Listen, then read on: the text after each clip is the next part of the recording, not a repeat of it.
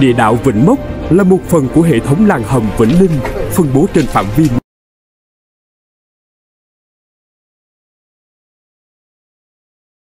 chỉ đạo quốc gia năm một năm và Tổng cục Chính trị Quân đội Nhân dân Việt Nam.